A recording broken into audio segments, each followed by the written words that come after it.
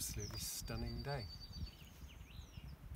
So, um, Spring Rain on Still Waters um, was going to be a meditation and reflection retreat based on the traditional teaching of the five skandhas. Um, the five skandhas can uh, sometimes appear to be a rather academic or technical list and it's not always very obvious um, how this list can be used, to, practically speaking, in the day-to-day -day life of a, of a Buddhist. Um, so uh, this retreat was designed to take an experiential approach to the material.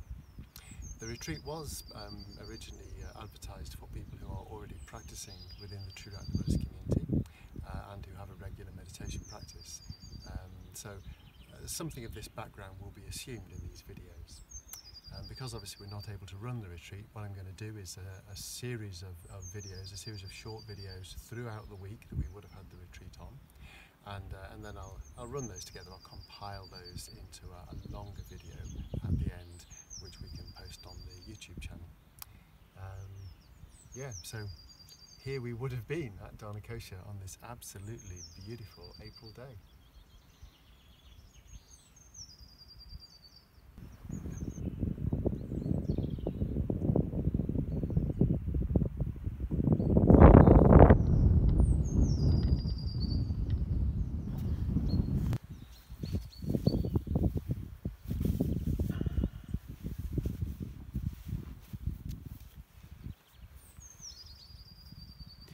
So the approach we're going to be taking is essentially quite practical. Um, we will be exploring the, uh, the language and the terminology of the five skandhas enough to get a, a sense of or a feeling for um, what that language and that terminology is pointing to. Um, and then we're going to be looking at how we can explore that in our experience. Um, this very important aspect of the retreat is uh, I'm going to try not to be overly technical and to always be pointing to um, how we experience the five skandhas, how they express in our experience.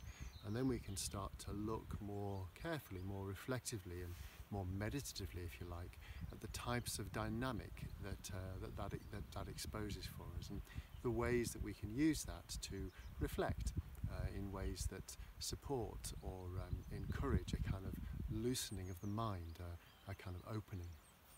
Um, now, the Buddha's teaching, of course, the, uh, the, the, Buddha's project is uh, the end of suffering, and that's what the Buddha's aiming to, uh, to achieve. So, all the time when we look at the five skandhas, it's important to bear that in mind. Um, where, uh, um, so, particularly on this retreat, I'm not going to be approaching it in terms of an analytical, um, uh, academic understanding of the material. Um, I'm going to be looking more at, yeah, it, it from an experiential point of view. So on a retreat, of course, we're normally be spending quite a lot of time in the shrine room and spending time quietly and carefully in each other's company. Whereas now I'm just sending you videos, so hopefully you'll get something of a reflective sense from your time at home and uh, you know, we'll be able to use the material next time opportunity arises for you.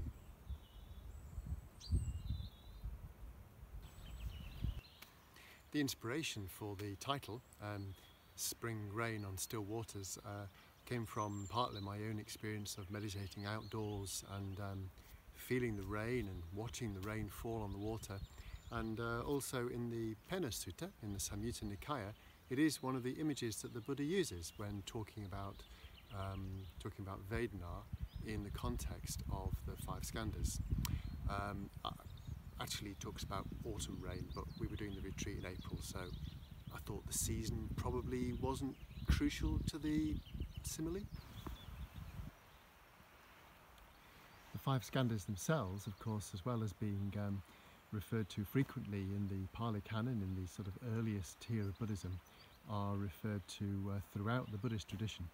Um, in Triratna, we come across them most in the Heart Sutra, which is why I'm using the skandhas. I'm generally using the Sanskrit, even though a lot of the material that I'm talking about will have been will have been drawn from the Pali, where in the Pali we talk about uh, the khandhas. Um, but uh, they're the same word really, so we'll uh, we'll stick with the Sanskrit because that's what's most familiar to people in Triratna.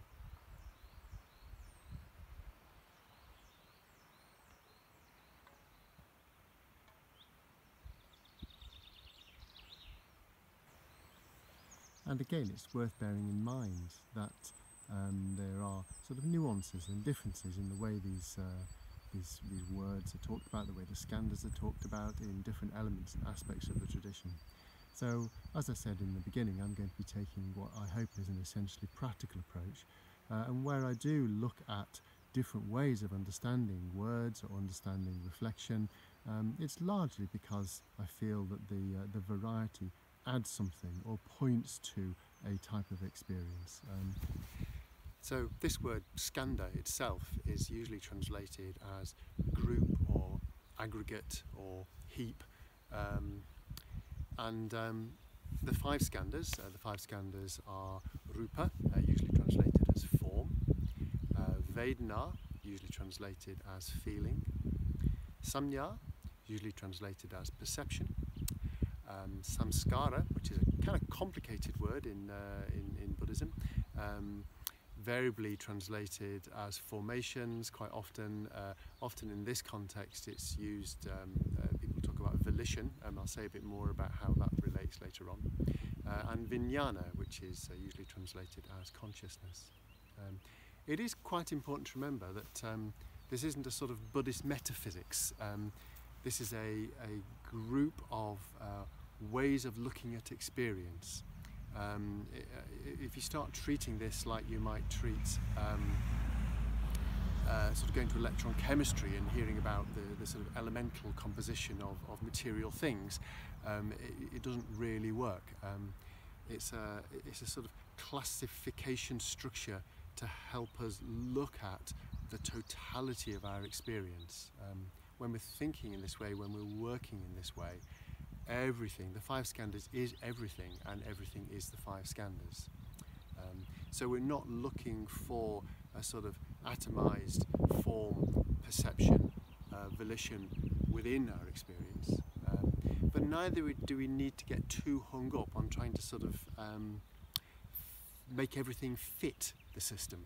I think it's quite important when we get on to reflecting on the material um, that you start off by understanding the uh, what's meant by this this language as it presents in its kind of more obvious forms.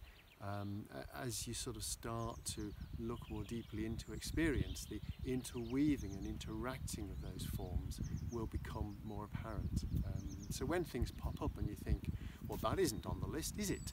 Um, just sort of hold that thought and see where we go with that because the, the list is designed to be complete there's a number of these complete lists in Buddhism, and I think they're interesting. They're designed to point us around our experience. A very familiar one in Triratna, of course, is the six elements. The six elements is also a complete list.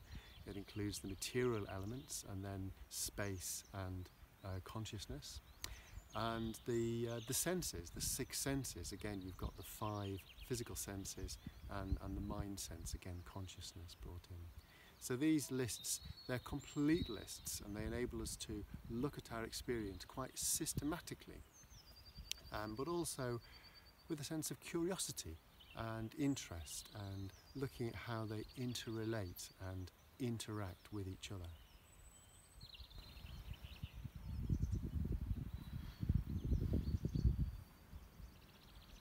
So sometimes when people talk about the five skandhas, they think that they only describe the unenlightened mind.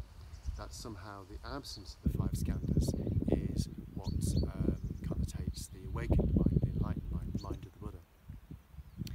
That's not the, uh, the way the teaching is presented in, in early Buddhism.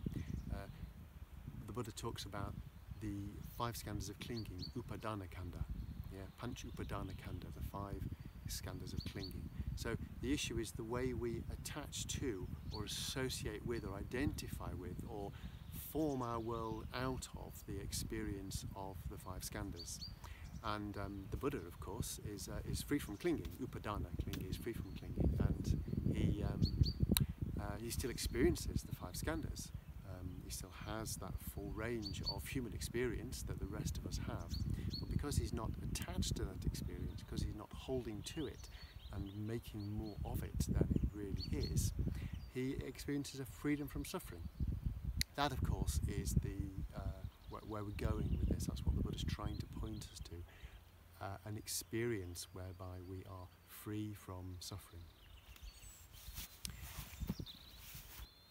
So the important point here is we're not trying to deny our experience. What we're doing is we're looking more carefully at it and more openly at it with a very relaxed and curious mind.